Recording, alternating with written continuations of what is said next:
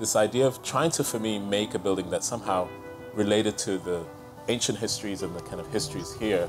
Um, not literally. I'm never interested in history literally being re- represented, but I really feel that there are certain um, sort of deep memories that are somehow, I think, sort of absorbed into our bodies somehow. I really think that architecture absorbs into our body and memory.